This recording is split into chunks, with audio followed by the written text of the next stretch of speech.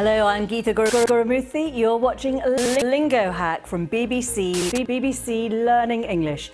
Today's news stories are Belgium in mourning after attacks. Zika virus victims increase. Negative reaction to online fitness challenge. Here, here are the words and, and phrases for you to learn. Mourning. Odious abnormally, unrealistic. Let's hear more about today's news, news, news stories.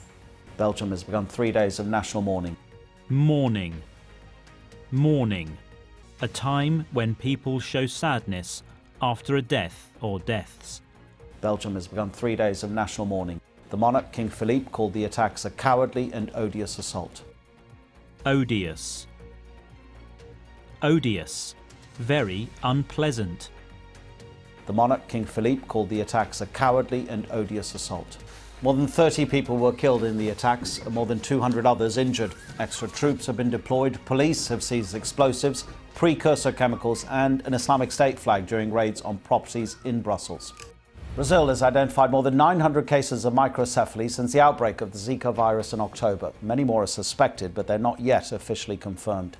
Scientists in Brazil say the increase in microcephaly, in which a baby is born with an abnormally small head, is linked to the mosquito borne virus. Abnormally. Abnormally. Unusually. Not as expected. Brazil has identified more than 900 cases of microcephaly since the outbreak of the Zika virus in October. Many more are suspected, but they're not yet officially confirmed. Scientists in Brazil say the increase in microcephaly, in which a baby is born with an abnormally small head, is linked to the mosquito borne virus. The A4 Waist Challenge that has everyone talking. The challenge to show your waist fitting behind a piece of A4 paper has gone viral in China and further afield, but now there's a fight back happening online. It's been labelled, of course, unrealistic. Unrealistic. Unrealistic. Something that cannot be achieved the A4 Waist Challenge that has everyone talking.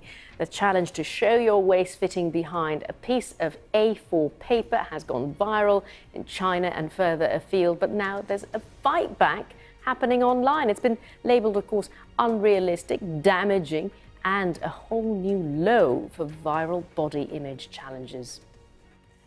That, that's all from Lingohack, Lingo, Lingohack, Lingo Hack for today.